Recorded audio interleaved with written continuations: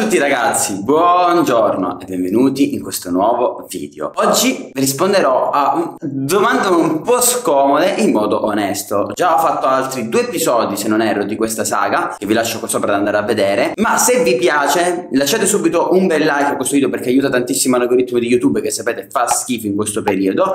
Commentate qua sotto proponendomi le vostre domande scomode che magari utilizzerò per registrare il prossimo e per rispondere a delle domande scomode. Ma non ci perdiamo in chiacchiere, mi raccomando seguitemi su tutti i social, in questo caso le ho prese da Instagram, quindi Instagram Pep893, anche su TikTok Pep893, seguitemi subito e adesso via con la sigla!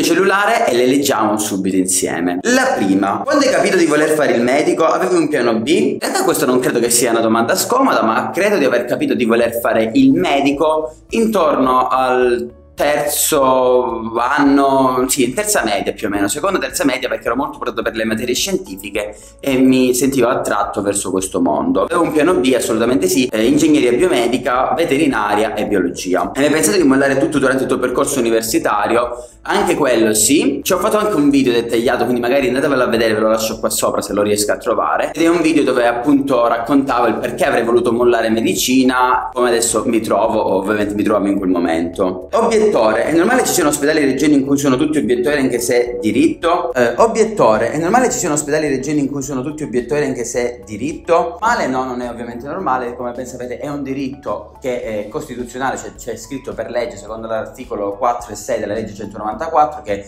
regolamenta l'aborto in Italia, quindi come ben capite è una, qualcosa che è regolamentato in Italia e quindi un diritto di tutte le donne poter volontariamente o se ci sono determinate patologie poter decidere di abortire. Purtroppo Purtroppo per una serie di problematiche capita molto spesso che ci siano appunto strutture ospedaliere dove molti dei medici, se non tutti, siano, eh, sono obiettori e quindi di conseguenza non è possibile praticarlo. Questo è ovviamente per una serie di problematiche che ci possono essere relative all'etica di ogni medico. Non è giusto che ci sia, ma eh, un, come c'è un diritto appunto per la donna di poter abortire, c'è un diritto per il medico di poter essere obiettore, quindi come non si può condannare una scelta, non si può condannare l'altra scelta, ovviamente, anche se non si condivide né in un senso né nell'altro. Hai mai tradito? No, ragazzi, non ho mai tradito, credo che se uno decide di avere, frequentarsi con un determinato tipo di persona, instaurare un tipo di relazione stabile, eh, bisogna essere fedeli. Se per una serie di motivi, perché io credo anche e soprattutto che se sono innamorato del mio partner, della mia ragazza, non ho voglia di tradire non ho occhi per altre ragazze, sì ci sta la battuta, la scherzosa con l'amico, col compagno,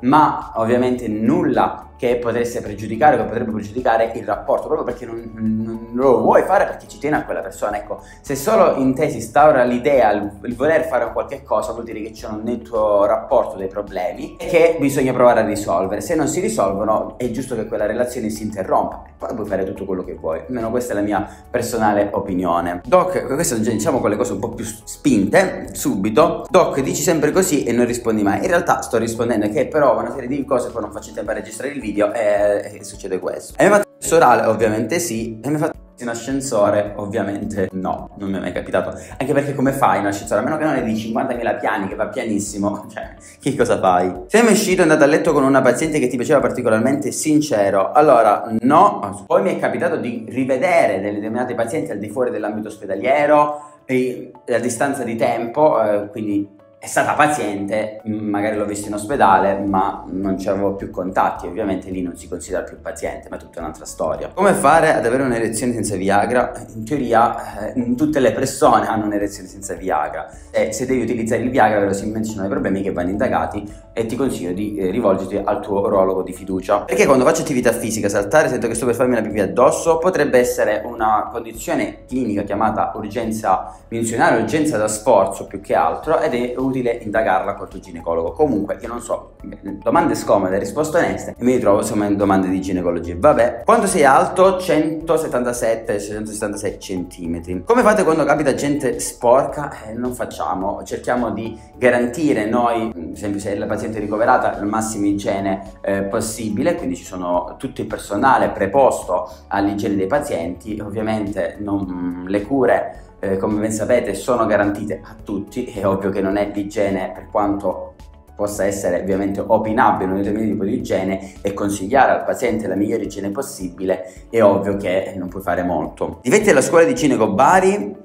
ma guarda, ti posso dire, ci ho fatto un video comunque su ginecologia in generale, ti posso dire che è una scuola in crescita, in evoluzione, l'unico difetto se vogliamo dire è che siamo tanti, tanti e quindi poi le attività che puoi fare da una parte ti diminuisce il carico di lavoro, dall'altra hai meno opportunità per imparare purtroppo. Il tuo rapporto con la masturbazione, come ben sapete ragazzi, è un qualcosa di normale, normalissimo, soprattutto per i ragazzi. Eh, si è visto che avere almeno 3-4 eiaculazioni settimanali riduce il rischio di tumore alla prostata, quindi è un'attività che è anche consigliata dagli urologi, smentitemi colleghi urologi, ma eh, dovrebbe essere così e che quindi, mm, diciamo, in un modo o nell'altro. Sei single? Sì, ma ti mangi le unghie? Purtroppo come vedete ragazzi, sì, me le mangio, è un mio difetto che ho da tantissimo tempo, non so cosa fare, consigliatemi voi come fare. Commenterai del ginecologo di Bari? No, ovviamente no ragazzi, non, non, commenterò perché non sono cose che si commentano, penso che quello che è successo verrà poi valutato dagli organi competenti, non sta a me dare né un parere né un'opinione, non ho né i requisiti né non conosco la persona, quindi non, non ho nemmeno, non so nemmeno i fatti reali, ecco, come sono avvenuti, come non sono avvenuti, io vedo il servizio delle Iene come l'avete visto voi, ma più di quello non posso dire, di conseguenza ci saranno le figure preposte a fare questo tipo di valutazione. Hai fatto la terza dose? Ancora no ragazzi, ma la farò a breve, quindi vaccinatevi, sto pensando che il lab vaccinale mi chiama sostanzialmente,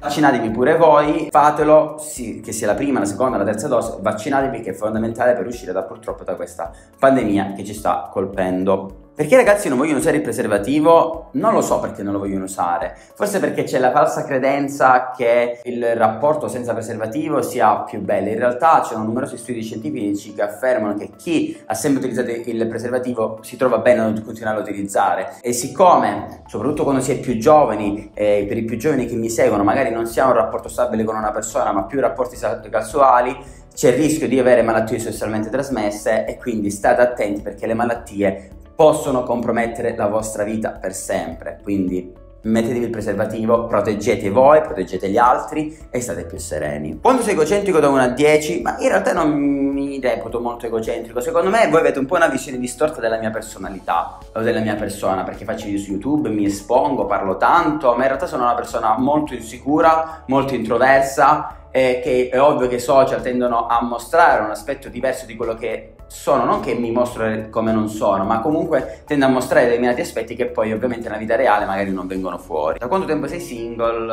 Uh, tre anni, due anni e mezzo più o meno. Eh, le unghie è l'unica nota negativa che puoi avere, per adesso sei top, grazie mille. Tempo narciso? No ragazzi, no raga, veramente, con tutta l'onestà di questo mondo, non mi reputo... Uh, così bello, mi reputo sicuramente un ragazzo normale, un ragazzo che carino, attrae sicuramente, ma attrago forse un po' per la mia personalità, forse un po' per eh, tante piccole cose di me, ma bello no.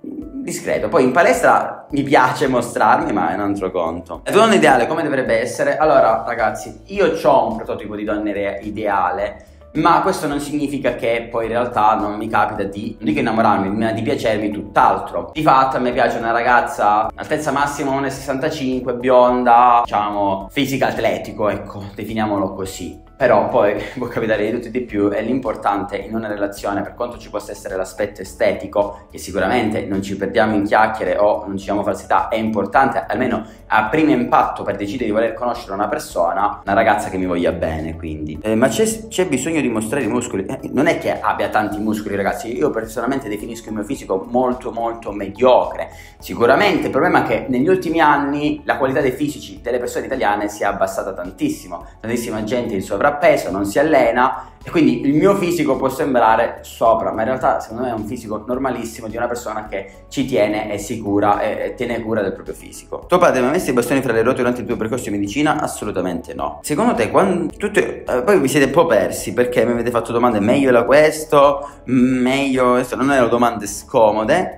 Questa è carina, diciamo, chiudo il discorso con questa. A volte quando ho un orgasmo mi sale il pianto incontrollabile e un po' d'angoscia. Capita a delle ragazze, non so onestamente il motivo, fatemi fatemi sapere a quanto di voi capita che magari dopo aver raggiunto l'orgasmo vi mettete a piangere o a una situazione un po' particolare. Non lo so, onestamente, eh, non ho approfondito il discorso. Detto ciò, ragazzi, spero che questo video vi sia piaciuto. Mi raccomando, supportatemi sempre con un bel like, iscrivetevi al canale, fate qua sotto le domande per il prossimo Peppe risponde a domande scomode in modo onesto. Seguitemi su tutti i social, Instagram, TikTok, Peppe893 e ci vediamo nel prossimo video. Ciao ragazzi!